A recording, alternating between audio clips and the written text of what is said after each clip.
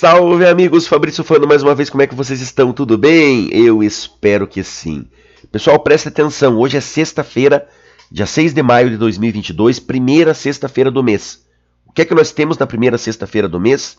Nós temos o payroll. O que é o payroll? Payroll é o relatório de pagamentos de empregos não agrícolas lá nos Estados Unidos.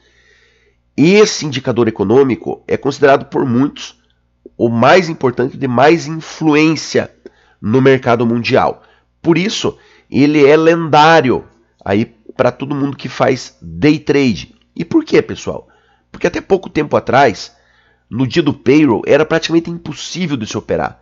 O mercado enlouquecia, entrava uma volatilidade monstra e você não tinha como operar de forma segura. Eu notei que de 2018 para cá, isso vem diminuindo. Tanto que há um ou dois meses atrás, agora não me lembro, não me recordo bem, o payroll passou praticamente despercebido. Não deu nem para ver que aconteceu algo de anormal.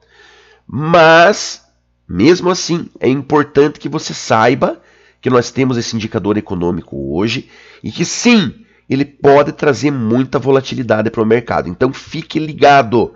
Quando começar a chegar perto das nove e meia da manhã, evite de estar posicionado. Está com uma operação aberta na plataforma. Por quê?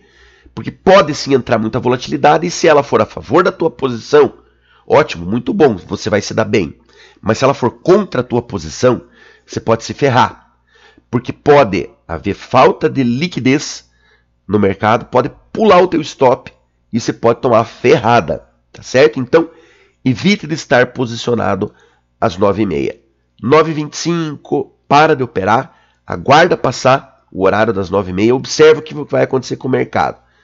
Ah, Fabrício, deu uma balançadinha lá, mas nada de anormal. Ok, deu 9h35, pau, pode voltar a operar. Em contrapartida, se entrar muita volatilidade assim, o mercado balançar demais e daí voltar ao normal, tome cuidado para você voltar a operar aqui, olha. Por quê? Porque se entrar muita volatilidade, essa volatilidade vai bagunçar todos os teus indicadores. Vai entrar uma quantidade muito grande de dados anormais e vai descalibrar todo o teu operacional. Então aguarde 15, 20, ideal 30 minutos aí para a plataforma realinhar os teus indicadores para que daí você retorne as tuas operações. Tá legal, pessoal?